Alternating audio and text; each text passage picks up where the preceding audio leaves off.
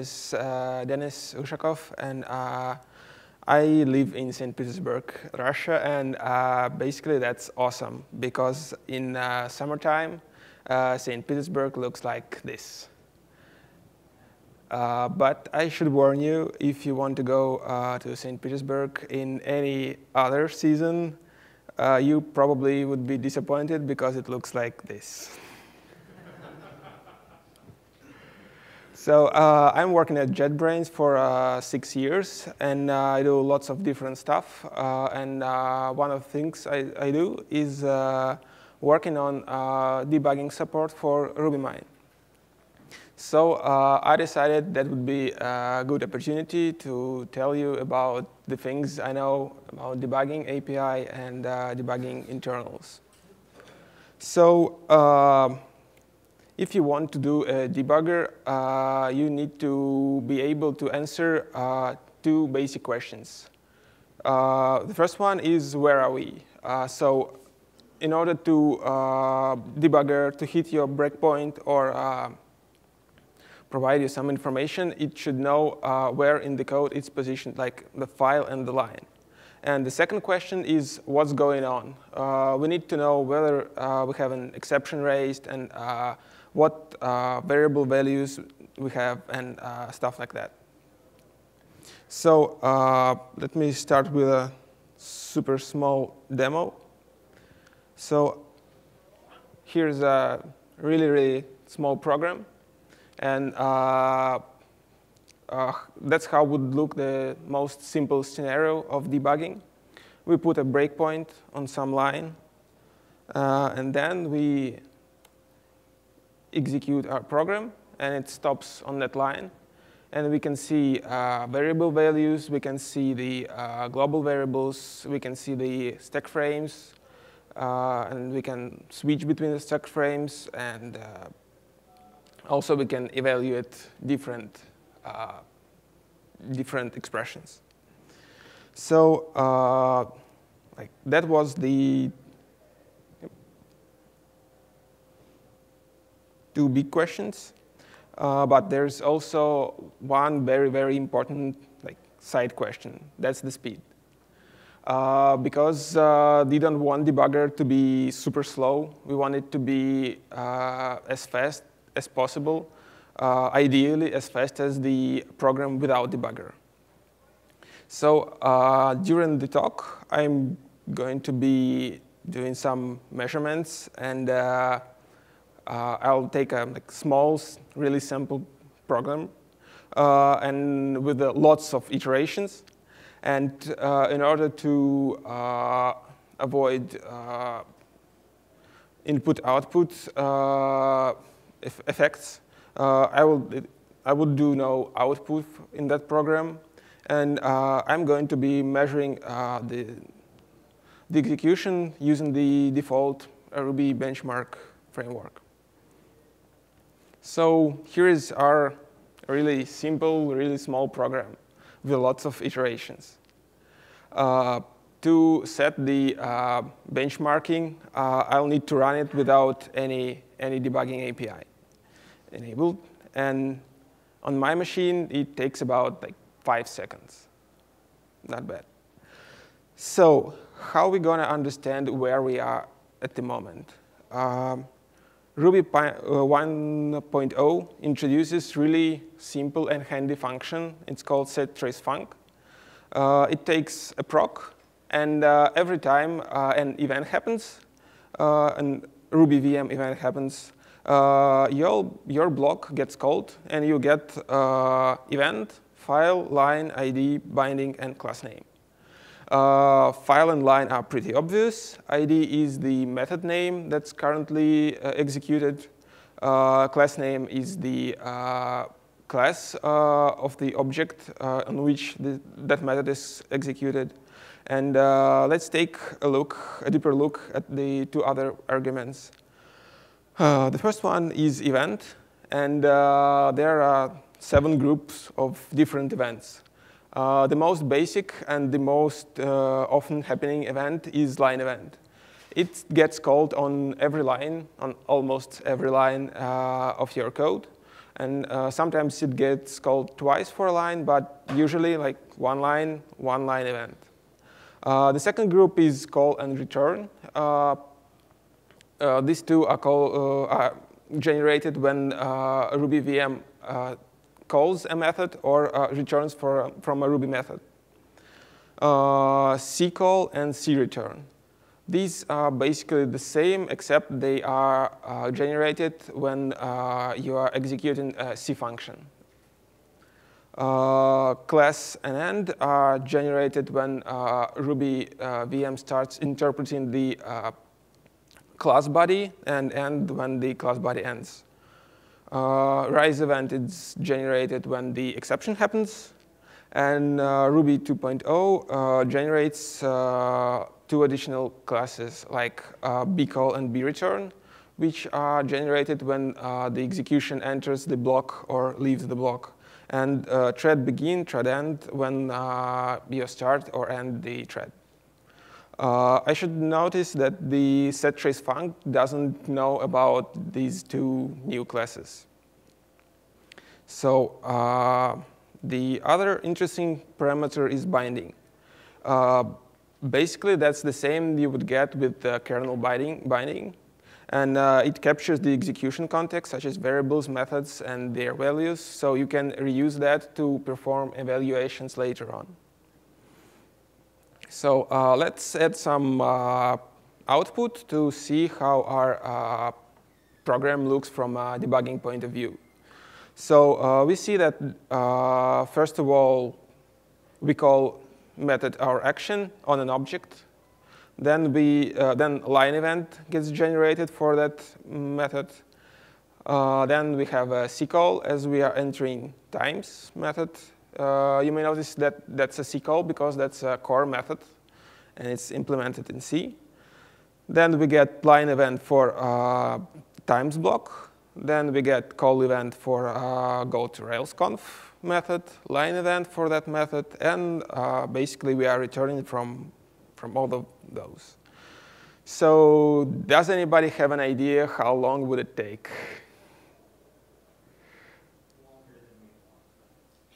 Yeah, definitely. It takes about two minutes. Like two minutes from a five seconds. What's, what's, what's going on? Uh, basically, the problem is with the binding uh, evaluating binding is really, really expensive. So to evaluate the binding, we need to walk the stack to gather all the available variables. We need to store the, their values, and uh, it takes lots of time. So what should we do? Like, we can just keep calm and wait for the results. Uh, to be honest, I uh, launched, uh, I was able to, to uh, boot the Simple Rails application uh, with the set trans trace func enabled once. Haven't tried that any, anymore. So what should we do? Uh, and Ruby 1.8.3 introduces a new method. It's called RB add event hook. You may notice that the code below is, doesn't look like Ruby because that's C, yeah. And uh, uh, like you can specify uh, the function that's basically a callback that would be called. And uh, one big difference is that you can also specify events. So for example, if you don't need a line event, you can just uh, specify that you want all other events, and that would make execution faster. So let's try executing uh, the same program with the empty uh, callback but using all, all events. And it takes 10 and a half seconds. Not bad, not bad. So generally, when we have an C API, there should be a wrapper gem that you can use. Unfortunately, that's not the case.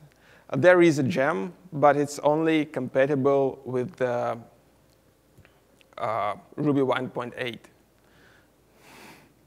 So I, uh, at some point, I thought, OK, I'll just uh, do some stuff and fix the uh, compatibility and get it ready for uh, 1.9 and 2. And uh, well, But actually, I'm uh, quite a lazy person. I really love being lazy. And uh, thanks to Koichi, I can be lazy because he uh, did all that for Ruby 2.0. And he brought us new APIs that's called TracePoint and Debug Inspector. So what's the TracePoint? Basically, that's the wrapper around the add uh, event hook with the good object-oriented Ruby API. So what you need to do is just uh, specify events you want to listen for, and uh, you'll get your uh, block called every time that event happens. And uh, you can get fro from the trace point object, you can get all the information uh, you can get from the set trace func. Let's try our program with the trace point. So it takes about 30 seconds, which is not uh, as good as uh, event hook, but still, still pretty, pretty good. Uh, and that's true unless we want to access binding. Because it makes uh, the program run as slow as we have with, with the set trace func. So uh, the biggest difference between uh, the TracePoint API and trace func is that the binding uh, is evaluated lazily, so we don't spend lots of time for that. And the second API I was talking about uh, is uh, debug inspector, and it's also about being lazy. So uh, when you have set trace func or add event hook, you'll need to uh, continuously maintain all your frames, uh, list of the frames, and uh, continuously uh, capture the state of the uh, virtual machine uh, to understand what's going on and to present the to, to, present all the frames at the time we hit the breakpoint. With the debug inspector, it isn't so. when we reach the breakpoint, we can just call the debug inspector open and our callback will receive an object with the uh, backtrace and all the uh, VM internal information about that. But you may have noticed that it's also a C API. And uh, as we know from the previous slides, if there is C API, then we have probably a wrapper gem for uh, that, and uh, it's obsolete. Well, no. Uh, there's a pretty handy debug inspector gem uh, and uh, if you want to access all the, those APIs from, uh, from Ruby, it's quite easy to do so. So just uh, call uh, debug inspector open, and you get your object, and you get your uh, locations, and you can get the bindings of, from the frames or class and stuff like that. The only limitation of uh, this API is that you cannot use uh, the object that you get from the uh, from from the uh, block. Uh, you cannot use it outside that block. So if you, for example, need uh, to access the bindings outside of that block, you need to capture and store them elsewhere. So here comes a small performance summary. We get five seconds with a simple program run. Uh, set trace func is really, really slow. It's two minutes. And uh, add event hook is super fast. Uh, and trace point is uh, in between. Uh, I should add that it's it's possible to get the almost the same performance with the trace point as we get with the event hook when we are using the C block. Uh, because unfortunately, when we run a debugger, we uh, have to watch for all events. And uh, as you have seen, this, the small program generates nine events per like two calls, and that's a lot. Uh, for, for else, that's uh, even bigger. So uh, who's using what? So setTraceFunc is actually used by uh, debugger B uh, that comes with your Ruby interpreter, and uh, that's why it's so slow. Event hook is used by Ruby debug base and uh, debugger gems. Ruby debug base is basically the uh, fr debugger front end for Ruby debug and uh, Ruby debug IDE. And uh, it's also used for uh, RCov, which was used to capture the coverage for 1.8 until we got some sweet coverage API that's used by SimpleCov. And uh, TracePoint is uh, and debug inspector are used by debase, byebug, and uh, binding off color gem. Uh, so they are like 2.0 only. And debase uh, gem is uh, front end for uh, Ruby debug IDE. But it seems that under the hood, everyone, like everyone is using uh, add event hook. Because setTraceFunc uh, generates a new hook, which is executed on every event, and it uh, uh, generates uh, the binding uh, eagerly. Uh, and setTraceFunc is doing the same, but it generates the object, which, is, which evaluates binding lazily. So let's continue speaking about being lazy. Uh, I love being lazy. But you know what? Your CPU also loves being lazy. Uh, if you don't push him too, too hard, he can do things faster. Uh, so with the TracePoint API, we still have to uh, check on every event that we are uh, on a breakpoint line or not. So uh, that's a, that adds a pretty big performance impact. So I, I was measuring uh, all the stuff with empty hooks. And you can imagine if you're going to check on every event, it's going to be even longer. So uh, here comes uh, Rubinius. Because in Rubinius, it's, you don't need to uh, check explicitly for a line and a file uh, what you do is basically you kept, uh, when this, your script is compiled, you get the, an, an execution block, and you uh, get the uh, instruction for, for, for, the, for that particular line. So here's here how looks the, the base section uh, for Rubinius. This uh, hook is called when the script is compiled, and we check in that the script matches our file path.